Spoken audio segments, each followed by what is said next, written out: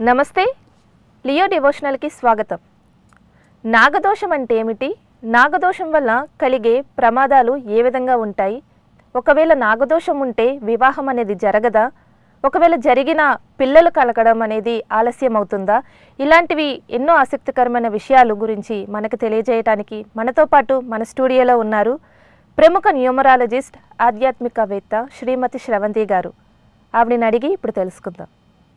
నమస్తే అమ్మా. నమస్తే అమ్మా. అమ్మ అసలు నాగదోషం అంటే ఏంటి? అది నాగదోషం మనకి కలిగింది అంటే ఆ దోషం అనేది ఉంది అనేది ఎలా తెలుసుకోవాలి? నాగదోషము అని అంటే రాహుకేతువుల వల్ల కలుగుతుంది అనమాట రాహుకేతువు. రాహుకేతు వల్ల కలుగుతుంది. అలా ఇంగ్లీష్లో వీటిని మనం యురేనస్ అండ్ నెప్ట్యూన్ ప్లానెట్స్ అనుకుంటాము. అయితే ఆస్ట్రాలజీ పరంగా కూడా మనకి చూస్తే గనక అంటే రాహు కేతు మధ్యలో ఏమైనా గ్రహాలు ఉండి ఉండకపోయినా ఈ ప్లేసెస్ వల్ల అంటే కుండలిలో ఏ ప్లేస్లో ఉంటే నాగదోషం ఉంటుంది అన్నట్టుగా జాతకపరంగా చెప్తారనమాట అంటే బలన దోషం ఉంది కాలసర్ప దోషం ఉంది నాగదోషాల్లో కూడా కొన్ని రకాలు ఉంటాయి మళ్ళీ. నాగదోషంలో కూడా ఇంకా రకాలు ఇంకా రకాలుగా ఉంటుంది. అంటే కాలసర్ప దోషం అంటారు అంటే ఆ ఇంటెన్సిటీ ఎంత ఉంది అనేది తెలుస్తుంది అనమాట ఆ ప్లేసెస్ వల్ల తెలుస్తుంది. అంటే ముఖ్యంగా మనం తెలుసుకోవాల్సింది ఏంటంటే రాహు కేతువు ఆ, ఉండకూడని ప్లేసెస్లో ఉన్నప్పుడు మనకి కలిగే దోషం నాగదోషం ఉంది. బలానా కుండలికి అని మనం చెప్పవచ్చు అయితే న్యూమరాలజీలో ఏంటంటే నేను ప్రత్యేకంగా చూసింది ఏంటంటే డేట్ నెంబర్ ఫోర్లో పుట్టిన వాళ్ళు అంటే ఫోర్ బర్త్ సిరీస్లో వాళ్ళు అంటే ఫోర్ కానీ థర్టీన్ కానీ ట్వంటీ టూ కానీ థర్టీ ఫస్ట్ కానీ. ఇట్లా పుట్టిన వాళ్ళకి కొంచెం ఎక్కువగా దోషం అనేది కనపడుతుంది నాకు. అలాగే సెవెన్ నెంబర్స్ అంటే రా- ఈ న్యూమరాలజీలో రాహు కేతుకి ఏంటంటే రాహుకి నెంబర్ ఫోర్ ఇచ్చారు. కేతు ఏమో నెంబర్ సెవెన్ అనమాట సో నెంబర్ సెవెన్ ప్లానెట్కి సెవెన్ సిరీస్ అంటే మీరు సెవెన్ తీసుకోవచ్చు సిక్స్టీన్ తీసుకోవచ్చు. ఆ, అట్లానే మళ్ళీ ట్వంటీ ఫైవ్. ఈ డేట్స్లో పుట్టిన వాళ్ళందరినీ కూడా మనం సెవెన్ సిరీస్ కిందకే తీసుకుంటాం. వీళ్ళే కాకుండా ఎవరిదైనా డేట్ ఆఫ్ బర్త్ మీరు యాడ్ చేసి చూడండి. యాడ్ చేసి చూస్తే డెస్టినీ నెంబర్ ఫోర్ కానీ డెస్టినీ నెంబర్ సెవెన్ కానీ ఉన్న వాళ్ళు కూడా ఈ రాహుకేతువుల ప్రభావంలో ఉన్నట్టే లెక్క. బర్త్ నెంబరు డెస్టినీ నెంబర్ కూడా ఫోర్ సెవెన్ లేదు. అనుకుంటే వాళ్ళు చేసే సిగ్నేచర్స్లో అంటే ప్రతి ఆల్ఫబెట్కి సిగ్నేచర్ అంటే ఏంటి? మన పేరు రాస్తాం కదా మనము. సరే కొంతమంది పేరులో సగం రావచ్చు రాయొచ్చు. కొంతమంది జస్ట్ ఎస్ ఏ అని పెట్టవచ్చు. ఇప్పుడు శాలిని అని పేరు ఉందని అనుకుందాం జస్ట్ ఎస్ ఏ అని పెడతారు కొంతమంది. ఒకవేళ ఏ గనక ఇనిషియల్ అయి ఉంటాయి ఇంటి పేరు ఏతో స్టార్ట్ అయ్యి అలాంటి వాళ్ళు కూడా ఉన్నారు. ఇంటి పేరు ఒకటి ఒక అక్షరము ప్లస్ వాళ్ళ సిగ్నేచర్లో ఒక అక్షరం తీసుకొని సిగ్నేచర్ చేసే వాళ్ళు కూడా ఉంటారు అనమాట సో వాళ్ళు వాళ్ళు చేస్తున్న సిగ్నేచర్స్లో ప్రతి ఆల్ఫబెట్కి ఒక్కొక్క నెంబరు కేటాయించబడింది న్యూమరాలజీలో సో ఆ నెంబర్స్ వేసుకొని అదేమన్నా twenty two thirty one thirteen number వస్తుందా? లేకపోతే సెవెన్ నెంబర్ ఏదైనా ఇప్పుడు మీకు హండ్రెడ్ వన్ నుంచి వన్ నాట్ ఎయిట్ వరకు మనం క్యాల్కులేట్ చేసుకుంటాం అనమాట ఈ నెంబర్స్లో ఈ సిగ్నేచర్స్లో అలా ఏమన్నా పెద్ద పెద్ద నెంబర్స్ ఉన్నా కూడా ఇప్పుడు ఫర్ సపోజ్ సెవెంటీన్ సిక్స్టీన్ ఉందనుకోండి ఆ పర్టికులర్ సిక్స్టీన్ నెంబర్కి ఈ దోషం ఉంటుంది ఇలా ఉంటుందని మనం చెప్పడం జరుగుతుంది అనమాట సో డేట్ ఆఫ్ బర్త్ వైజ్గా బర్త్ నెంబర్స్ కానీ డెస్టినీ నెంబర్స్ కానీ అలానే ఒకవేళ సిగ్నేచర్స్లో ఈ ఫోర్ అండ్ సెవెన్ ఉన్న వాళ్ళకి కొంచెం మ్యాలిఫిక్ ఎఫెక్ట్స్ కనపడుతూ ఉంటుంది మనకి. ఆ నెంబర్ని బట్టి ఆ ఇంటెన్సిటీ ఎంత ఉంది అనేది మనం చెప్పుకోవచ్చు. ఇప్పుడు ఫర్ సపోజ్ సిగ్నేచర్లో థర్టీన్ ఉందనుకుందాం డేట్ ఆఫ్ బర్త్లో థర్టీన్ ఉందనుకుందాం వాళ్ళకి ఫ్యామిలీ ప్రాబ్లమ్స్ ఉంటాయి అన్నమాట. అంటే ఫ్యామిలీ పరంగా ప్రాబ్లమ్స్ ఉంటూ ఉంటాయి. ఏదైనా ఫైనాన్షియల్గా కూడా అవ్వచ్చు. ఎందుకంటే రాహు అనే ప్లానెట్ ఏంటంటే మంచి ఫైనాన్షియల్ స్టెబిలిటీ ఇస్తుంది అనమాట ఒకవేళ మంచి పొజిషన్లో ఉందనుకోండి ఫైనాన్షియల్ స్టెబిలిటీ ఇస్తుంది. ఫైనాన్స్కి సంబంధించి రాహుకి చాలా మంచి ప్లేస్ ఉంది మన దాంట్లో. అంటే మీరు ఈవెన్ మీరు ఈ దిక్కులు చూసుకున్నా కూడా నైరుతి ఈజ్ రూల్డ్ బై రాహు అన్నమాట. అంటే ఇంగ్లీష్లో నైరుతిని చెప్పాలి అంటే మనము ఆల్మోస్ట్ మీకు సౌత్ వైపు సౌత్ కార్నర్ అనుకోండి. ఈజీగా ఎక్స్ప్లెయిన్ అవ్వాలి అంటే ఇటు సౌత్ వైపు కార్నర్ ఆగ్నేయం అది అవుతుంది నైరుతి ఇటు అవుతుంది అనమాట మనకి. సో అంటే సౌత్ వెస్ట్ అనుకోండి. ఓకే? అంటే అది సౌత్ ఈస్ట్ అవుతుంది ఇది సౌత్ వెస్ట్ అవుతుంది. నైరుతి లో నైరుతిని లీడ్ చేసేది రూల్ చేసేది రాహు. అంటే ఇన్ని ప్లానెట్స్ ఉన్నాయి కదా రాహుకి ఇచ్చారు చూడండి. అంటే రాహు అలాగే మీరు బీర్వాలు అవి పెట్టుకున్నా కూడా నైరుతి వైపు పెట్టుకొని ఉత్తరం వైపు ఉన్నా కానీ తూర్పు వైపు కానీ ఫేస్ చేసేటట్టు పెట్టమంటారు. సో నైరుతి వైపు బరువు ఉండాలి కాబట్టి బీరువా ఓపెనింగ్ మాత్రం కుబేర స్థానాన్ని అంటే ఉత్తరంలో కుబేరుడు ఉంటాడు కాబట్టి కుబేర స్థానాన్ని కానీ కొంతమందికి వచ్చి తూర్పు వైపు స్థానాన్ని కానీ చూ పెట్టుకునేటట్టు పెట్టుకోండి అని చెప్పి చెప్తారు. అంటే ఏంటి వెల్ఫేర్కి వెల్త్కి ఇంపార్టెన్స్ కూడా ఉందన్నమాట రాహు ప్లానెట్కి సో మీకు ఇంత ఇంపార్టెన్స్ ఉన్న ప్లానెట్ సరైన పొజిషన్లో లేకపోతే ఆస్ట్రాలజీలో కానీ అలాగే సిగ్నేచర్స్లో సరైన నెంబర్లో లేకపోవడం వల్ల కూడా మనకి ఎఫెక్ట్ ఉంటుంది రాహు వల్ల. ఈ దోషం అనేది ఇంటెన్సిటీ సర్పదోషం ఎంత ఇంటెన్సిటీ ఉంది అనేది కూడా మనం చెప్పవచ్చు అనమాట. న్యూమరాలజీలో ఉన్నది ఏంటి అంటే ఆస్ట్రాలజీలో ఒకవేళ చాలా ఎఫెక్ట్ ఉండి కొంతమంది ఫైనాన్షియల్గా కూడా ఇబ్బందులు పడుతూ ఉంటారు. అంటే ఆ దోషాన్ని నివృత్తి చేసుకోవడం కష్టంగా ఉంటుందన్నమాట.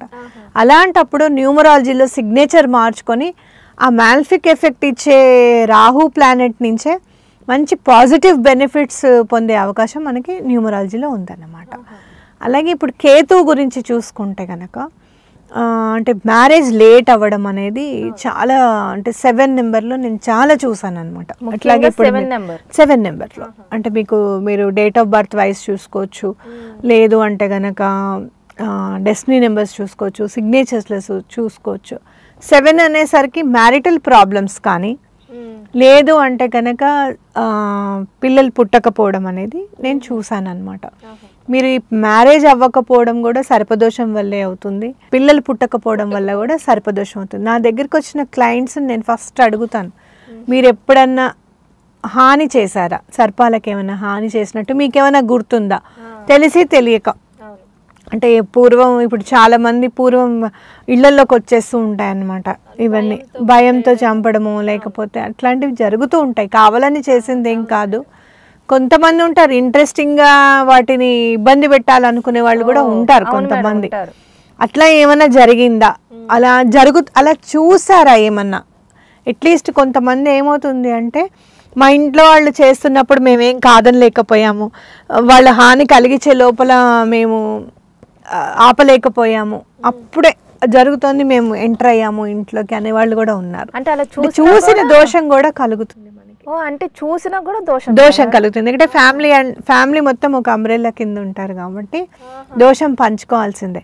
ఆస్తి ఎట్లయితే పంచుకుంటామో ఇలాంటి తప్పులు నుంచి కూడా వచ్చేవన్నీ కూడా పంచుకోవాల్సిందే. నేను ఏదో చేయలేదని. అలా కొన్ని దోషాలు ఉంటాయి. అలా మనం నివృత్తి చేసుకోవడానికి న్యూమరాలజీలో మంచి అవకాశం ఉంది. అలా లేదు అలా అంటే న్యూమరాలజీ చేసే ముందు ఇంకా మీకు ఏమైనా దోషం పోవాలి అని అంటే మనం ఎక్కువగా సర్పదోషం ఉంది అని మనకి ఎవరైనా చెప్పంగానే ఫస్ట్ మనం ఆరాధించవలసింది సుబ్రహ్మణ్యేశ్వర స్వామిని. సుబ్రహ్మణ్యేశ్వర స్వామి. సుబ్రహ్మణ్యేశ్వర స్వామిని ఫస్ట్ ఆరాధించాలి. అంటే నాగశిలలు ఉంటాయన్నమాట. సుబ్రహ్మణ్యేశ్వర స్వామి రూపంలో నాగశిలలు ఇట్లా రెండు పడగలు ఉన్న పాములు శివాలయాల్లోనే శివాలయాల్లో అవును. ఎక్కువగా స్థాపించబడుతూ ఉంటాయి. అంటే అవి కూడా ఏంటంటే కొంతమంది దండం పెట్టుకుంటారు. పిల్లలు పుడితే మేము పెళ్ళైనా పిల్లలు పుట్టినా మేము అట్లాంటి శిలని మేము ప్రతిష్ఠింపజేస్తామని చెప్పి దండం పెట్టుకొని ప్రతిష్ఠిస్తారనమాట సో అలా స్వామికి వెళ్ళి పా పాలతో అభిషేకం చేసి చక్కగా కడిగి బొట్లు అవి పెట్టి మళ్ళీ తయారై చేసిన తర్వాత కూడా అన్ని పాలు నోటి దగ్గర పోసి దీపం దగ్గరగా పెట్టకూడదు స్వామికి. దూరంగా ఉండాలి కొంచెం. ఎవరైనా దీపాలు తెచ్చేసి దగ్గరగా పెట్టేస్తూ ఉంటారు. వేడి తగలకూడదు స్వామికి. అగరబత్తులు దీపాలు విడిగా ఎక్కడ దూరంగా పెట్టండి. కొంచెం దూరం. కొంచెం దూరంగా పెట్టి అభిషేకం చేసి స్వామికి బొట్లు అవి పెట్టి మంగళవారం చేస్తే చాలా మంచిది. లేదు కొంతమంది ఆదివారం కూడా చేయాలనుకుంటే ఆదివారం వాళ్ళకి కలిసి వస్తుంది అనుకుంటే ఆదివారం కూడా చేయొచ్చు. కానీ మంగళవారం చేస్తే చాలా మంచిది. దోషం నివృత్తి అవ్వడానికి అవకాశం ఉంటుంది. ఎందుకంటే మనం మంగళవారము అమ్మవారిని కూడా పూజిస్తాం దుర్గా అమ్మవారిని. దుర్గా అమ్మవారిని రాహుకాలంలో చాలా మంది దీపాలు పెడతారు. రాహుకాలంలో వెళ్ళి. ఎందుకంటే ఆ రాహు దోషం పోవాలని చెప్పి. సో మంగళవారం నాడు సుబ్రహ్మణ్యేశ్వర స్వామికి నాగశిలలకి పూజ చేస్తే చాలా మంచిది. ఇట్లాంటి సర్పదోషం అయినా కూడా నివృత్తి అవ్వడానికి అవకాశం ఉందన్నమాట. ఈ చాలా మందికి మ్యారేజెస్ అయ్యాయి పిల్ కన్సీవ్ అయ్యారు. నేను ఈ పూజ చెప్పిన తర్వాత. సో అందుకే చెప్తున్నాను. మంగళవారం నాడు నాగశిలలకి చక్కగా వెళ్ళి ముందు ఫస్ట్ వాటర్తో కడిగేసేసి తర్వాత పాలతో అభిషేకం చేసేసి మళ్ళీ ఇంకొంచెం వాటర్తో పాలు జిడ్డుగా ఉంటాయి కాబట్టి మళ్ళీ కొంచెం వాటర్తో కడిగి పసుపు పూసేవాళ్ళు పసుపు పూసుకుంటారు. కొంతమంది అయితే చందనం గంధం పూసి చక్క బొట్లు పెట్టి కొన్ని పాలు అట్టు పెట్టుకోండి. ఆవు పాలు ప్యాకెట్లోనే అభిషేకం చేసిన దాంట్లోనే కొన్ని అట్టు పెట్టుకొని మళ్ళీ కొంచెం మూతి దగ్గర కాస్త పోసి మీకు ఓపిక ఉంటే గనక అరటిపండు కూడా తీసుకొని వెళ్ళొచ్చు. అరటిపండు కూడా తీసి అక్కడ పెట్టచ్చు. దీపం అది ధూపం అది చూయించండి స్వామికి. పూలు అవి ఎలాగో పెడతారు? బొట్లు పూలు అవి ఎలాగో పెడతారు? ఇది పూజ. అంతే. అంతే. అంతే. అంటే స్వామికి సేవ చేసినట్టు అనమాట ఆ సేవ చేసినందువల్ల కర్మ పరిపక్వం అయ్యి కాస్త దోషం కరగడానికి దోషం తొలగిపోవడానికి చాలా అవకాశాలు ఉన్నాయి మీరు చూసుకుంటే కనుక మంగళవారం ఎందుకు చెప్పాను అంటే కాళహస్తీశ్వర స్వామి గుడి ఉంది కదా మనకి కాళహస్తి ఉంది కదా అక్కడ రాహుకేతువుల దోషం పోవడానికి అని చెప్పి పూజ చేస్తారు. అక్కడ జ్ఞాన ప్రసూనాంబగా అమ్మవారు వెలిసిల్తున్నారు.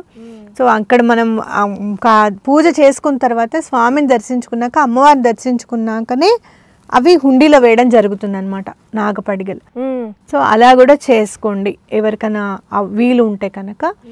లేదు అలా లేదు మాకు ఇప్పుడు అంత ఆర్థిక స్తోమత లేదు అనుకుంటే ముందు ఇది చేసి మాకు దోషం నివృత్తి అయ్యి మాకు ఏదైనా సంబంధం కుదిరిన తర్వాత లేకపోతే పిల్లలు పుట్టిన తర్వాత తప్పకుండా వచ్చి అక్కడ పూజ చేసుకుంటామని చెప్పి దండం పెట్టుకోండి. చాలా మందికి నేను ఇలా ఈ పూజ వల్ల చాలా క్లియర్ అయిందనమాట సో అట్లా నెంబర్స్ని బట్టి కానీ ప్లేసెస్ని బట్టి కానీ మనం సిగ్నేచర్స్ని బట్టి డేట్ ఆఫ్ బర్త్స్ నెంబర్స్ని బట్టి మనకి ఇట్లా నాగదోషం ఉందా అనేది మనం వెరిఫికేషన్ చేసుకోవచ్చు. అలా ఉంటే గనక అలా నివృత్తి పొంది ఈ పూజ చేసి నేను ఇచ్చే సిగ్నేచర్స్ చేసి కొన్ని స్విచ్ వర్డ్స్ ఉంటాయి. ఏదన్నా వర్క్ అవ్వడానికి అనమాట అంటే మ్యారేజ్ అవ్వడానికి కొన్ని ఉంటాయి. లేదు పిల్లలు పుట్టడానికి కొంచెం ఉంటుంది. అలా అలాంటి దోషాలు కూడా మనం నివృత్తి చేసుకోవచ్చు అనమాట దీనివల్ల. అంటే మేడం ఇప్పుడు మీరు చెప్పిన పూజ అనేది ఎన్ని వారాలు చేయాలి? పదకొండు వారాలు చేయాలి. పదకొండు వారాలు. చేస్తే చాలా మంచిది. పదకొండు వారాల లోపల కన్సీవ్ అయిన వాళ్ళు చాలా మంది ఉన్నారు ఈ దోషం పోయి ఆ, అంటే ఎందుకంటే మ్యారేజెస్ మీకు సర్పదోషం వల్ల ఆగచ్చు కుజదోషం వల్ల ఎన్నో రీజన్స్ ఉంటాయి దానికి. పిల్లలు మాత్రం కేవలం సర్పదోషం వల్లనే నైంటీ పర్సెంట్ పిల్లలు కలగకపోవడం అనేది జరుగుతూ ఉంటుంది. అంటే ఏదైనా నెంబర్స్ కొన్ని కొన్ని నెంబర్స్ ఉంటాయి. కాంబినేషన్స్ నేను ఎప్పుడూ చెప్తూ ఉంటాను. త్రీ సిక్స్ కాంబినేషన్ ఒక దగ్గర ఉండకూడదు. ఫైవ్ నైన్ కాంబినేషన్స్ ఒక దగ్గర ఉండకూడదు. దానివల్ల ప్రాబ్లమ్స్ అవి సెపరేట్ అది ఇంకా. కానీ దో ఇలా పిల్లలు పుట్టలేదన్న వాళ్ళకి మాత్రం ఎక్కడో అక్కడ ఫోర్ అండ్ సెవెన్ ఎక్కడో అక్కడ తగులుతుంది ఖచ్చితంగా. సిగ్నేచర్స్లోనో బర్త్ నెంబర్స్లోనో డెస్టినీ నెంబర్స్లోనో ఉంటుందన్నమాట. సో ఇట్లాంటి దోషాలు ఈజీగా న్యూమరాలజీలో తప్పకుండా నివృత్తి చేసుకోవడానికి అవకాశం ఉందన్నమాట. ఈ స్విచ్ వర్డ్స్ అంటే ఏంటంటే మనం డైరెక్ట్గా యూనివర్స్ నుంచి మనము ఎనర్జీ తీసుకుంటాం. మనం ఆ మాట పలికినప్పుడు మన సబ్ కాన్షియస్ మైండ్కి చెప్తూ ఉంటాం అనమాట ఆ వర్క్ జరిగింది అనేది మనం చెప్తూ ఉంటాం. సో మనకి ఆ సబ్ కాన్షియస్ మైండ్కి మనం చెప్తే ఈ పని అయిపోయింది ఇలా ఉంది ఇలా మనం స్విచ్ వర్డ్ చదువుతూ ఉంటే కూడా యూనివర్స్ నుంచి మనకి డైరెక్ట్గా హెల్ప్ పొంది మనం ఆ ప్రాబ్లం నుంచి బయటపడడానికి అవకాశం. మేడం మరి పెళ్ళైన వాళ్ళకి ఈ సొల్యూషన్ అనేది చెప్పారు కదా. ఇప్పుడు కొత్తగా పెళ్ళి కుదిరింది. అంటే ఒక అమ్మాయికి కానీ అబ్బాయికి కానీ వాళ్ళిద్దరికి పెళ్ళి చేద్దామని అనుకుంటున్నారు. మరి వాళ్ళిద్దరిలో ఇలాంటి దోషాలు ఉన్నాయని ఎట్లా తెలుసుకోవాలి? నెంబర్సే ఇప్పుడు పెళ్ళి కాకముందైతే జాతకాలు అయితే చూపిస్తారు చూయించిన తర్వాత కలిసాయి అని చెప్పి మ్యారేజ్ చేస్తారు. అది పిల్లలు పుట్టకపోయిన తర్వాతనే ఆ నాగదోషం ఉందా లేదా పుట్టట్లేదు అన్నప్పుడు మళ్ళీ వెళ్ళినప్పుడే బయటపడుతుంది కదా. అంటే ఇప్పుడు మామూలుగా ఎవరైనా ఏం చేస్తారు? జాతకాలు బాగానే కలిసాయండి అంత బాగానే ఉంది అని చెప్తారు. ఎప్పుడైనా ఆస్ట్రాలజర్ కనిపించచ్చు. రెండు మూడేళ్ళ తర్వాత పిల్లలు పుట్టే అవకాశం ఉంది అంటే దాని మీద ఎక్కువగా దృష్టి సారించలేకపోవచ్చు. అలా ముందే దోషం ఉంది అని అంటే ఈ అమ్మాయిని వాళ్ళు చేసుకోవడానికి రెడీ అవ్వరు ఆ అబ్బాయిని వీళ్ళు చేసుకోవడానికి రెడీ అవ్వరు కదా. ఓ రెండు మూడేళ్ళ తర్వాత పిల్లలు ఉన్నారు అని అంటే బాగానే ఉంది. ఓకే అని చెప్పేసి టిక్ కొట్టుకుంటూ వెళ్ళిపోతారు. ఇన్ని గుణాలు కలిసాయనో ఏదైనా చెప్పేస్తారు. అలా అలా చేసిన తర్వాత కూడా హారోస్కోప్లో ప్రాబ్లం లేదు అనుకున్న వాళ్ళకి కూడా ఈ బర్త్ నెంబర్స్ కానీ డెస్టినీ నెంబర్స్ కానీ ఫోర్ ఉండడం సెవెన్ ఉండడం వల్ల కూడా పిల్లల విషయంలో ఇబ్బంది పడిన దాఖలాలు నేను చూసాను. అంటే న్యూమరాలజీ వల్ల కూడా అంటే డేట్స్ ఆఫ్ బర్త్ వల్ల కానీ లేకపోతే డెస్టినీ నెంబర్స్ కానీ లేకపోతే సిగ్నేచర్స్ వల్ల కానీ ప్రాబ్లం ఉండడం నేను చూశాను. అంటే ఆస్ట్రాలజీ పరంగా ఏం ప్రాబ్లం లేదంటున్నారమ్మా. మాకేమీ ఇబ్బంది ఏం లేదు. నాలోనూ ఇబ్బంది లేదు మా వారిలోనూ ఇబ్బంది లేదు. అయినా కూడా పిల్లలు అవ్వడం లేదు అన్న వాళ్ళు ఉన్నారు. అది because of the negative vibration of particular numbers అది మనం నివృత్తి చేసుకోగలిగి కొంచెం భగవంతుడు అండ కూడా తప్పకుండా ఉండాలి మనకి. అంటే ఇన్ని సంవత్సరాలు ఒక ఫర్ సపోజ్ మీరు థర్టీన్లో సిగ్నేచర్ చేస్తున్నారు అనుకుందాం. ఒక ట్వంటీ త్రీ ఇయర్స్ అనుకుందాం. ఆ ట్వంటీ త్రీ ఇయర్స్లో మీరు టెన్త్ అప్పటి నుంచి స్టార్ట్ చేశారు సిగ్నేచర్ అనుకుందాం. అంటే ఆల్మోస్ట్ సెవెన్ ఎయిట్ ఇయర్స్ అదే వైబ్రేషన్ తీసుకుంటున్నారు కదా. సో ఇమీడియట్గా వైబ్రేషన్ చేంజ్ అయ్యి రావాలి అంటే భగవంతుడు అండ కూడా ఉండాలి మనకి. అవునా కాదా. అంటే ఎండలో నుంచి మీరు వెళ్తూ ఇంట్లోకి రాగానే కళ్ళు కూడా చీకటి గమ్ముతాయి మనకి. దానికి మనం ఆ, ఆ కళ్ళు మనకి సహకరించాలి చూడడానికి. అంతే కదా? సెటిల్ డౌన్ అవ్వాలి మనం. సో అట్లానే మంచి వైబ్రేషన్లోకి రావాలి గుడ్ వైబ్రేషన్ పాజిటివ్ వైబ్రేషన్ మనం తీసుకుంటున్నాము తీసుకోవాలి తొందరగా మనకు అందాలి అంటే భగవంతుడు అండ కూడా చాలా అవసరం. సో ఇన్నాళ్ళు ఆ వైబ్రేషన్లో ఉన్నారు అంటే ఏదో దోషం ఉంది కాబట్టే వాళ్ళు ఆ వైబ్రేషన్ తీసుకున్నారు అని నేను అనుకుంటాను. సో తప్పకుండా పూజ కూడా చెప్తాను. సుబ్రహ్మణ్యేశ్వర స్వామిది దుర్గా అమ్మవారిది చెప్తాను. ఆ రెండు చేసినందువల్ల పిల్లలు కలిగిన వాళ్ళు చాలామంది ఉన్నారు ఈవెన్ ప్రాబ్లం ఉన్న వాళ్ళు కూడా పీసీఓడి ఉన్నవాళ్ళు లేకపోతే యూట్రస్లు ఉన్నవాళ్ళు యూట్రస్లో ప్రాబ్లమ్స్ ఉన్నవాళ్ళు ఫైబ్రాయిడ్స్ ఉన్నవాళ్ళు మెయిన్ మన ఫుడ్ వల్ల అనుకోండి లేకపోతే మన హ్యాబిట్స్ వల్ల మన దైనందిన జీవితంలో మన ఫాస్ట్నెస్ వల్ల అనుకోండి ఇంకేమన్నా అనుకోండి స్ట్రెస్ వల్ల అనుకోండి చాలా మందికి ప్రాబ్లమ్స్ ఇప్పుడు ఫైబ్రాయిడ్స్. ఫైబ్రాయిడ్స్ ఉండడం వల్ల పిల్లలు కలగరు అని అంటే ఎప్పుడో ఎవరికో ఒకళ్ళకి వినేవాళ్ళం ఇప్పుడు ఆల్మోస్ట్ కామన్ ప్రాబ్లం అయిపోయింది. సో అలాంటి ప్రాబ్లమ్స్ ఉన్న వాళ్ళు కూడా పీసీఓడి కూడా సెపరేట్ స్విచ్ వర్డ్స్ ఉంటాయి. ఫైబ్రాయిడ్స్కి కూడా సెపరేట్ స్విచ్ వర్డ్స్ ఉంటాయి. మనం ఒక్క త్రీ మంత్స్ వాటిని ప్రాక్టీస్ చేసి మెడిసిన్స్ కరెక్ట్గా వాడుతూ ఉంటే కనుక అందు నుంచి మనం దానిలోంచి బయటపడి కన్సీవ్ అవ్వడానికి చాలా ఛాన్సెస్ ఉన్నాయి. చూశారు కదండి? మేడం గారు చెప్పిన సొల్యూషన్స్ అనేవి. ఒకవేళ మీకు నాగదోషం కానీ ఉంది అని మీరు అనుకుంటే ఖచ్చితంగా సుబ్రహ్మణ్యేశ్వర స్వామికి పదకొండు వారాలు పూజ చేయడం వల్ల చక్కని ఫలితాలు అందుతాయని మేడం చెప్పారు. మీరు కూడా ఆచరించండి మంచి ఫలితాలు పొందండి. ఇది ఇవాళ వీడియో. నెక్స్ట్ టైం ఇంకొక మంచి వీడియోతో మళ్ళీ కలుద్దాం. అంతవరకు సెలవు. నమస్తే.